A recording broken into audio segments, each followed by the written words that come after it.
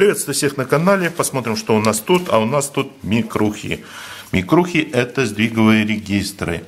Вот, э, их достаточно много, по-моему, около 30 штук или 20 штук. Вот, сдвиговые регистры, микросхемы это цифровые. Для чего они необходимы? Если у нас, э, допустим, контроллер типа Arduino, то там количество пинов всегда ограничено. Если мы будем подключать циферблат, например, то там количество пинов э, понадобится, ну, порядка 11-12, точно не помню сколько. Но если подсоединять параллельно пин циферблата каждому пину Arduino. Вот для экономии пинов необходимы вот такие регистры. То есть суть состоит в том, что подаем последовательно биты, биты э, заносятся в память вот этого регистра, и затем этот регистр передает уже параллельный сигнал, то есть 8 э, выводов, 8 пинов на устройство, например, на циферблат. Можно применять светодиоды, можно другие какие-то устройства. Так что это довольно-таки ценная микросхема. Сейчас вот такой циферблат подключим к Arduino.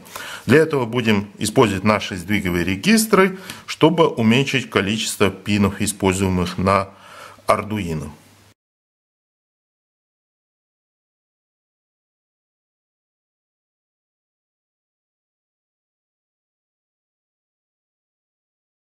В собранном состоянии вот так у нас получилось.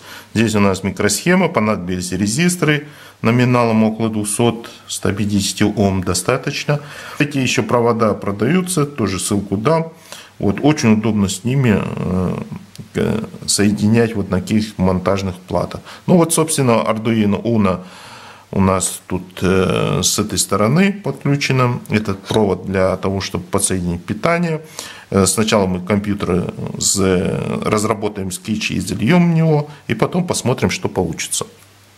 Здесь накидал я небольшой скетчик для демонстрации работы нашего сдвигового регистра применительно к циферблату.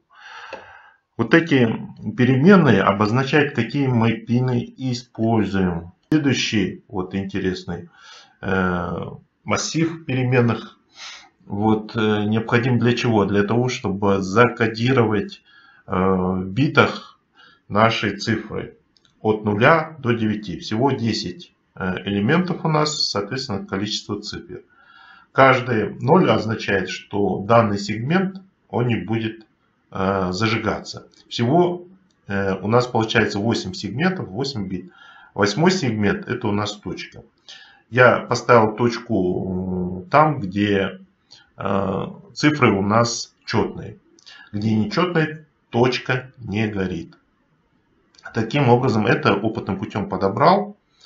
Вот. Э, далее задаем индекс, который будем дальше пользоваться. Это стандартная процедура. Открываем э, наши пины для передачи данных. Вот. И вот, собственно, цикл. Цикл он будет повторяться многократно. Э, вот этот условный оператор нужен для того, чтобы э, наш индекс не превысил девятки. Если он превышает, мы опять возвращаемся к нулю. Э, следующий оператор переводит зашелку закрытое состояние, для того, чтобы мы могли передавать данные. Так, передаем данные оператором Shift. И потом защелкиваем наш э, регистр.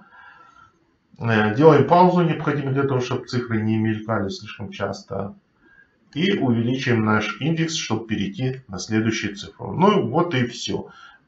Э, весь наш скетч, его мы загружаем наш Arduino, происходит компиляция. Вот, все говорит об успешной компиляции. Сейчас мы подключим питание подадим. Вот с помощью такого пауэрбанка подаем питание и у нас цифры начинают меняться. Как и было задумано. Так.